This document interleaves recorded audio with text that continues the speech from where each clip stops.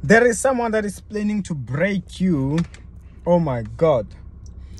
Hello everybody, it's Ishmael and your priest and I welcome you to today's video. You know, I am quickly reminded of a story. It's a real one. I know I knew the person, you know. Uh, this lady, she just got in like a job. She getting promoted, a higher position earlier on, you know. But it didn't go so long, so well. I mean, not really not so well, but it didn't last for long because she died while i don't know so well i don't remember so well was she on the way to that job or what something like that? But it happened during that time. How said the future was bright everything was given it was just there but something happened. And with this being said let me tell you that um, we tend to take it lightly. There is somebody that is already gunning for you. Have you heard about things such as monitoring spirits? Have you? Do you know what it, that is? The spirits that are always watching over you. Wicked spirits, for that matter. They are always watching what's going on in your life. They are following, keeping tabs and stuff like that. So those monitoring spirits, they are the ones that when they see something good, they go back and report. So that the enemy can sabotage.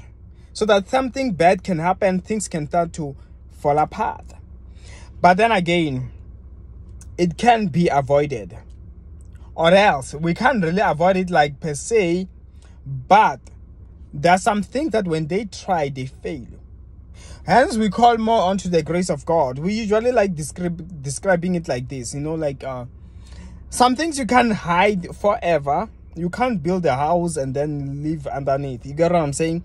You can't uh, buy a car and you drive underground. There is no such a underground road. Therefore, you have to be strong. That's what makes you realize.